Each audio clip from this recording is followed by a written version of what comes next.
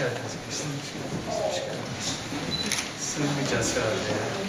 Sana bakmayacağız. Hoş geldiniz. Hoş geldiniz. Öyle mi? Hoş geldiniz. Tebrikler bakalım. Nasılsınız? İyisiniz? Hoş geldiniz. Düşünüyor musunuz siz böyle ya? Ha?